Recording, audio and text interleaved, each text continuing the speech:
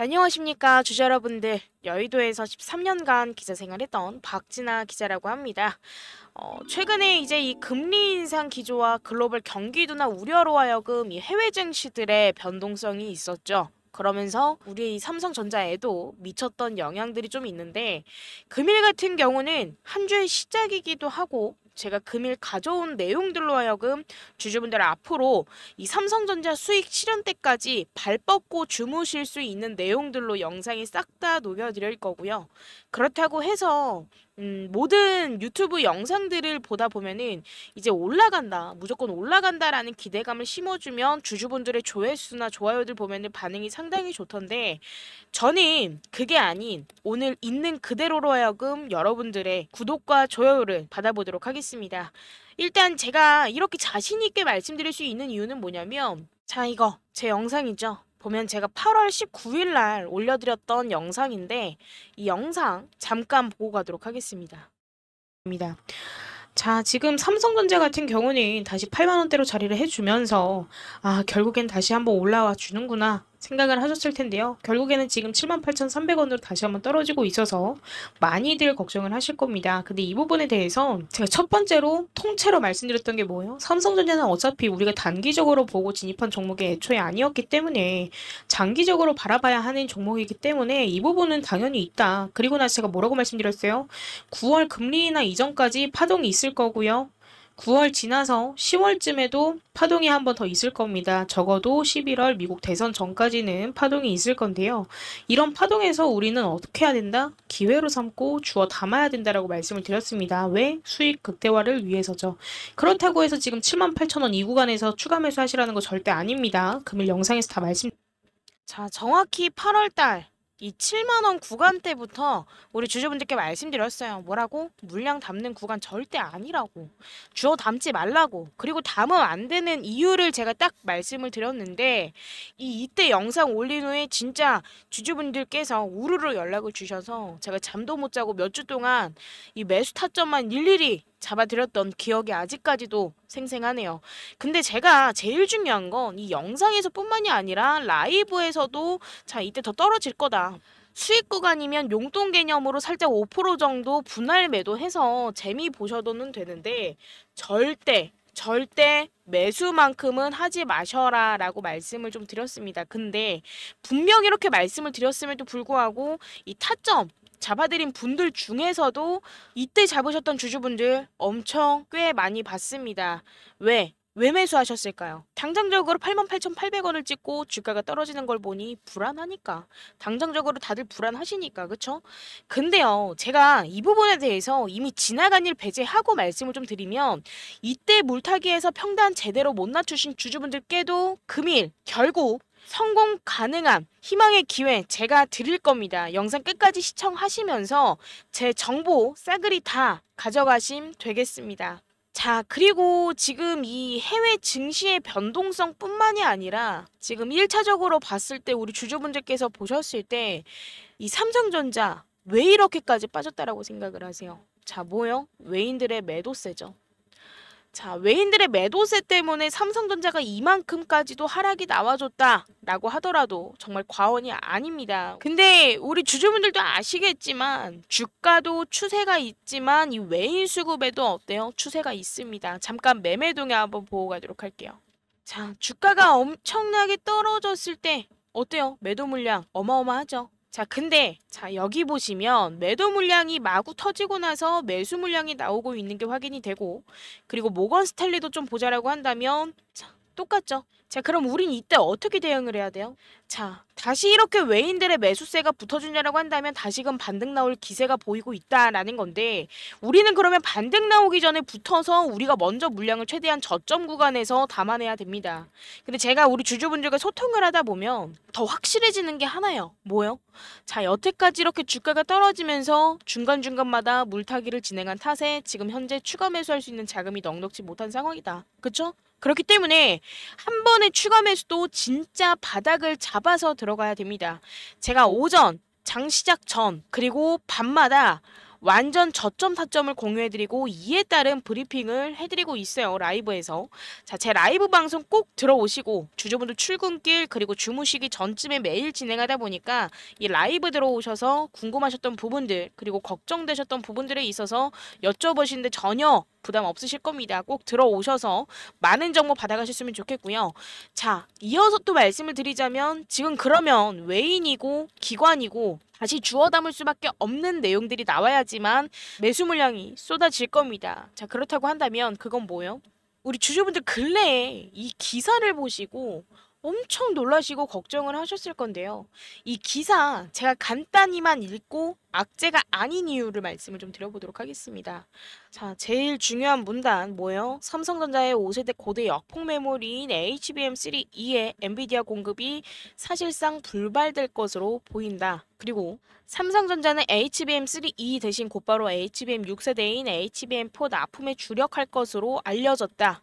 만에 하나 연내 퀄 테스트 승인을 받는다라고 해도 내년 4분기에 엔비디아가 차세대 HBM4를 탑재한 AI 가속기 루빈을 출시할 예정이어서 삼성전자 입장에선 HBM3 납품에 연연할 이유가 없다. 그리고 삼성전자의 정통한 업계 관계자는 삼성전자의 HBM3 엔비디아 납품은 이제 지연 수준이 아니라 사실상 납품 자체가 이뤄지지 않는다고 봐야 한다.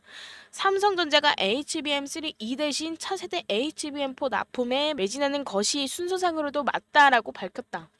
자, 이 내용들에 대해서 어, 딥하게 좀 자세히 보시는 주주분들 진짜 절대 못 봤거든요, 제가. 여기 보면 자, 이제 지연 수준이 아니라 엔비디아 납품은 이제 지연 수준이 아니라 사실상 납품 자체가 이루어지지 않는다고 봐야 한다. 어, 여기 앞에 왜 안타깝게도 뭐 송구스럽지만 뭐 이런 맥락상 부정적인 단어가 왜 없었냐에 대해서 저는 해석을 해봤거든요, 주주님들. 제가 해석한 부분으로 말씀을 좀 드리자면, 자, 첫 번째. 1차적으로는 특히 내년 상반기 출시 예정인 AI 가속기 블랙웰 울트라에 들어가는 HBM3 12단의 경우 SK하이닉스는 이미 양산을 시작했다. 이 때문에 설령 삼성전자가 뒤늦게 HBM3 퀄 테스트를 통과한다고 해도 SK하이닉스와 납품 시간차가 벌어져 납품으로 얻는 실익은 크지 않을 것으로 보인다. 라는 이유가 있고 자, 두 번째로는 가장 중요합니다. 제가 오늘 이에 대해서 말씀드리려고 여태까지 빌드업 했다라고 해도 과언이 아니에요. 자, 이 HBM4 결국 이 TSMC도 SK하이닉스도 아닌 삼성전자가 납품하게 될 수밖에 없다. 라는 건데 제가 왜 이렇게 또 해석을 했는지 요점만 말씀을 드릴게요. 자, 지금 이 엔비디아에게 HBM을 꾸준히 납품하고 있는 이 TSMC와 이 엔비디아와 사이가 점차 틀어지고 있습니다. 그 이유가 뭐냐면 주로 생산 비용의 상승과 그리고 공급 지원 문제에서 비롯이 됩니다. 이 TSMC가 첨단 반도체 공정의 생산비를 인상을 했는데 이 부분은 이 엔비디아와 같은 고객사에게 아주 큰 부담을 주고 있단 말이에요. 쉽게 말해서 이 엔비디아 측이 우리만의 라인을 줘라고 TSMC한테 말을 했어요. 그랬을 때 이 TSMC가 엔비디아에게 우리가 왜 안 돼? 라는 식으로 나왔으니까 이 엔비디아가 어때요? 썩이 나가버렸다. 근데 이 TSMC가 일을 잘하면서 자기들의 주장을 세우면 할 말도 없지만 이 TSMC 생산 일정 지연이 엔비디아 제품 출시 계획에 차질을 빚는 경우도 발생을 했었습니다. 그래서 이런 일들로 해서 이 엔비디아와 TSMC 골이 깊어지고 있으니 당연히 엔비디아는 이 TSMC의 기술력을 갖춘 기업이 있다라고 한다면 또 다른 수출처를 모색할 수밖에 없겠죠. 그렇죠? 그 기술력이 충분한 기업을 찾을 겁니다. 자, 그럼 우리가 선택지를 봤을 때 정확히 세 개입니다. 뭐예요? TSMC, 그리고 SK하이닉스, 그리고 우리의 삼성전자. 자, 근데 TSMC 빠지고 SK하이닉스와 삼성전자밖에 안 남았습니다. 자, 근데 우리 주주분들 SK하이닉스가 그럼 당연히 되겠지라고 생각하실 거예요. 그렇죠? 자, SK하이닉스와 엔비디아 협력, HBM4 협력 불가능한 이유 제가 10초 만에 말씀드려 볼까요? 이 HBM 4에 들어가는 핵심인 베이스 다이를 만들 수 있는 기술력 없다. 끝. SK하이닉스는 자체만으로 못 만들어요, 이걸. 자, 이 이유 말씀드렸으니까 여기다가 제가 살을 좀 붙여서 말씀을 좀 드려볼게요. 이 베이스 다이가 뭐냐라고 했을 때, 자, GPU 있습니다, 그쵸? 이 GPU 옆에다가 메모리 칩을 붙이는 게 HBM3E다 라고 한다면 HBM4는 GPU 깔고 위에 베이스 다이를 놓고 그리고 위에다가 메모리 칩을 쌓아 올리는 게 HBM4입니다. 근데 이 기술력이 없다라고 한다면 이 SK하이닉스가 우리의 삼성전자와는 손잡을 수가 없으니 이 TSMC와 손을 잡게 된다라고 가정을 해볼게요. 자, 그럼 이 SK하이닉스는 TSMC와의 협력에 의존을 해야 되는데 이러면 어떻게 돼요? 자, 추가적인 협력 비용 들고요. 그리고 생산 효율성 어떻게 되겠어요? 떨어질 겁니다. 그리고 공급 과정에서는 자, 한 가지의 생각이 아닌 여러 가지 생각이 들어가면은 공급 과정이 어떻게 되겠어요? 복잡해지겠죠. 자 그렇게 되면은 자 어때요? 단점 그 자체다. 이거는 손잡게 된다라고 해도 문제가 발생을 할 거란 말이에요. 그쵸? 근데 반면에 삼성전자는 이 HBM4에 들어가는 핵심인 베이스 다이를 독자적으로 생산을 할 수가 있기 때문에 자 중간 과정을 생략을 하고 엔비디아와 직접 거래를 할 수가 있고요. 이렇게 되면은 공급망도 짧아져서 비용 어떻게 돼요? 절감됩니다. 그리고 생산 효율성을 극대화할 수 있고 외부와의 협력 없이 빠르게 이 부분을 대응을 할 수가 있다라는 거예요. 그럼 이럴수록 어떻게 돼요?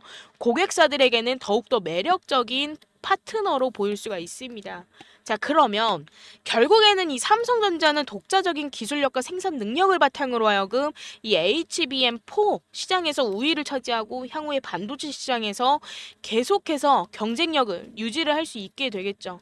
이 SK하이닉스가 협력에 의존해야 하는 상황과는 대조적으로 삼성전자는 혼자서도 글로벌 시장에서 주도적인 역할을 할 수 있는 위치에 있기 때문에 절대적으로 걱정을 안 하셔도 된다라고 말씀을 좀 드리고 싶습니다. 그럼 마지막은 지금인데 자 지금 현재로서 자금이 넉넉치 못하다 하시는 주주분들 우리가 이렇게 추가 매수를 해야 되는 근거들이 널리고 널렸는데 이 자금이 넉넉치 못하다 하시는 주주분들은 지금 집중해 주셔야 됩니다. 자 내 평단가가 지금 이렇게 높은데 내 자금이 넉넉치 못한 탓에 잠자코 기다릴 수밖에 없는 현실이다 랍시고 가만히 기다리기만 하시는 주주분들 자 지금 죄송하지만 주주분들의 수익 극대화를 위해서 말씀드리겠습니다. 지금 정신 차리셔야 됩니다, 주주님들. 아무리 장기적으로 들고 가려 기다리기만 한다지만 제가 늘 말씀드리는 거 뭐예요? 가만히 있는다고 해서 주가가 다 오를 거였으면 지금 손실 보고 있는 주주분들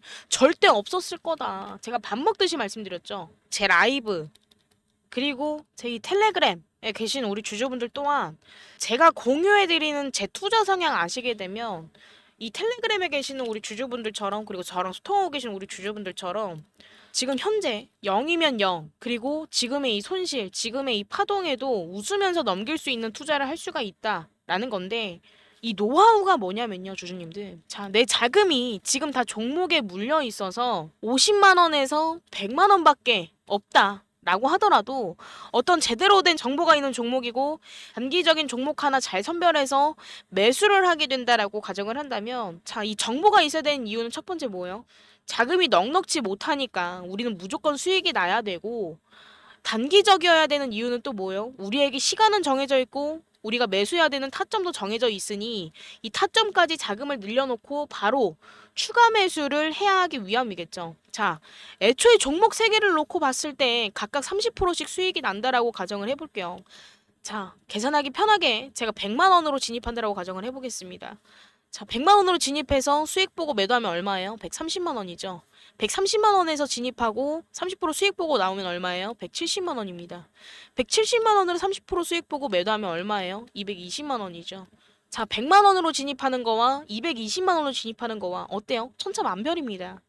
이게 진짜 자금 늘리기고 복리식 매매의 표본 아닌가요, 주주님들? 자, 정확히 저는 장사꾼이 아니니까 우리 주주분들께 말씀을 좀 드리자면 자, 주주분들께서 이 영상을 시청하시면서 이렇게 의문이 드실 수도 있어요. 자, 이게 어떻게 가능해? 하실 수도 있는 부분이고 저한테 처음 연락 주신 주주분들께서는 저에게 실제로 이렇게 말씀을 하셨어요. 그게 진짜 가능하냐? 그게 말이 되냐? 어떻게 되냐? 라고들 말씀을 하시던데 저, 저 명확히 말씀드리겠습니다. 명확히 말씀드리는데 우리 주주분들께서 불가능하다라고 생각하시는 부분을요. 가능하다 라고 생각하실 수 있게끔 바로 바꿔드리겠습니다. 라는 거짓말 못합니다. 하지만 적어도 불가능에서 가능이라는 단계에 걸쳐진 확신. 자, 적어도 이 확신은 제가 한번 드려볼게요. 저 말씀 더 안 드리겠습니다. 자, 위에 제 개인 연락처고요. 돈안 드는 문자 주셔서 제가 주주분들께 어떻게 도움을 드리고 어떻게 수익을 보여드리는지 직접 확인하시면 되겠습니다. 자, 늘 말씀드리지만 저는 유튜브에 영상을 올려드리면서 수익 창출하는 부분 0.01도 없고 그저 이렇게 어려운 시장에서 도움드리는 유튜버라고 말씀을 드렸습니다. 그렇기 때문에 주주분들께서 먼저 용기를 내셔야 지금 이 상황에서 뭐라도 바꿀 수 있는 거고 그 선택은 이 영상을 시청하시는 주주분들께서 하시는 겁니다.